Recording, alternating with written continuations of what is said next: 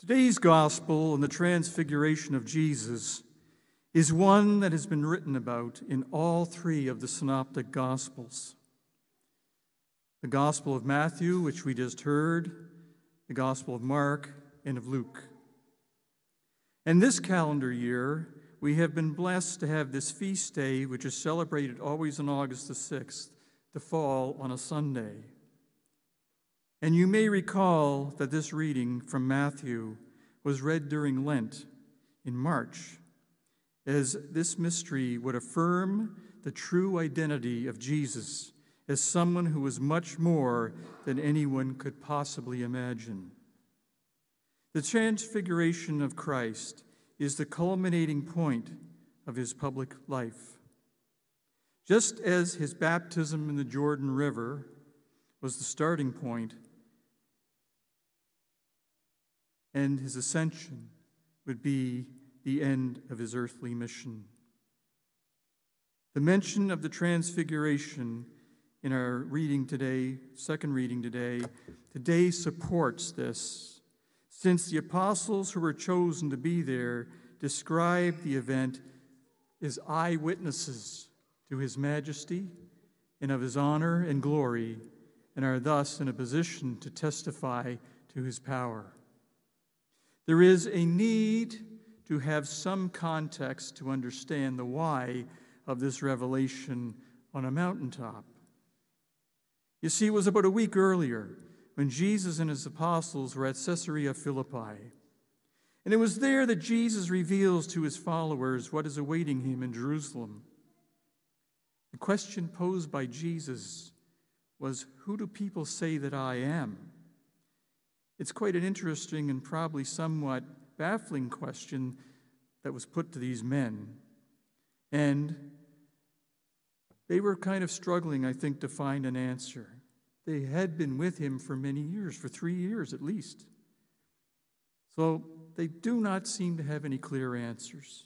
They blurt out things like John the Baptist, you're the, one of the great prophets. But then it's Peter, who Peter comes forward and responds that Jesus is the Son of the living God. Jesus says to him, You would not know this if it had not been revealed to you by the Father. And this will set the stage, so to speak, for what is to happen next. Now they're standing at a base of a mountain, and Jesus chooses only three of all the apostles, leaving nine at the base of the mountain. Jesus leads them up on the ascent. And they are told, they are not told why this is occurring, which I suppose, when you think about it, is a bit out of the ordinary. After all, they were usually told what they were about to do and the reason for their actions. But this is different. They are soon to find out how different. We hear in the gospel today of the mystical events that occur quite quickly in fact, St. Matthew and St. Luke both express the phenomenon by a very long word, metamorpho which translates in the Vulgate Bible as transfiguratus est. He was transformed, transfigured, more to the point, before their eyes. His face shone like the sun and his garments became a dazzling white as the snow. Not so much in a physical sense, though. This brilliance emanated from his whole body, produced by an interior shining of his divinity. One can only imagine the shock they experience to witness this supernatural event. And then we hear just as quickly out of nowhere stands Moses and Elijah. They are in conversation with Jesus about what is awaiting him in Jerusalem. Now, that may beg the question to anybody that reads this gospel of why these two were present. There was 700 years separating both Moses and Elijah from one another. So, why these two? Well, many Jews lived by a false Judaism who had rejected the Messiah. We know that Jesus was oftentimes rebuffed by the powers that be. He was rejected. Why? Because they felt threatened. Somebody came in that was threatening their place. And who was this carpenter from Nazareth? But now in the mountain, the true Judaism is represented by the amazing appearance of Elijah, the great prophet, and Moses, the giver of the law. You see, these two prophets recognized Jesus and adored him as they conversed with him.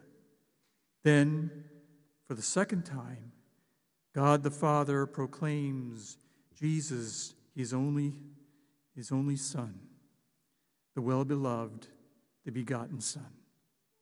And by this glorious manifestation, the divine master who had just foretold his passion to the apostles and spoke to Moses and Elijah of the trials that awaited him at Jerusalem would truly strengthen their faith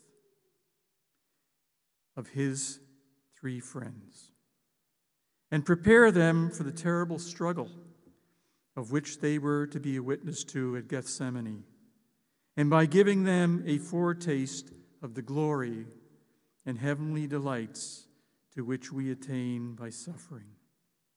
If we look deeper into these events, we can discover three aspects that contribute to the Christological force. Christology is the study of Christ. Firstly, the visible alteration of Jesus demonstrates that he is more than merely a human teacher, more than just a rabbi. And secondly, his association with Moses and Elijah demonstrates his messianic role. And thirdly, the voice from heaven declares his identity as the Son of God. Glory has been revealed on the mountain, and it is a unique incident within Jesus' ministry. You see, the transfiguration not only called the apostles who witnessed this great mystery, but it continues to be a call for all of us to share in that experience. The path up the mountain proceeds through prayer and encounter with Jesus. It reminds us of the glory of the sacrifice he made for all he loves. This revelation was seen by mortal eyes. The transcendent truth that he is the begotten Son of God. And knowing this is a sign of hope. And like Peter, James, and John, who witnessed this great revelation, we too are truly invited to embrace the path that Jesus prepared. Now, this can beg a question. And it's something you can think about now in this coming week. Sit and think and pray on it. Who is Jesus to you? You see, it indicates to the disciples and to us who Jesus really is. And we are being called to an ongoing transformation in Jesus, beginning right now. We are all invited to do so. The path up the mountain proceeds through prayer and encounter, and it is a reminder for us indicating where we are heading. We know that the passion of Jesus was a sacrifice he made for all he loved. And we are reminded in this gospel of Christ's glory to come. For on a mountain, Jesus revealed before mortal eyes the transcendent truth, as I said, of who he truly is. It is the sign of hope. And like the three who experienced the great revelation, we are invited to embrace this path that Jesus has prepared. So God commanded the apostles to listen to his Son. This would give them the true pathway, the new direction, by knowing who Jesus is, and the apostles would understand who they would become in him. The transfiguration of Christ is a spiritual event within the ordinary, but it is more beautiful and far greater than any ordinary experience.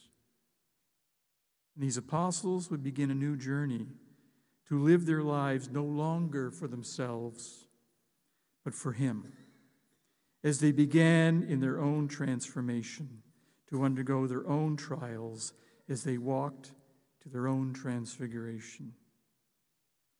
This is the path for all those who hear the name of Jesus. At every Mass, we are invited to be changed and to be transformed.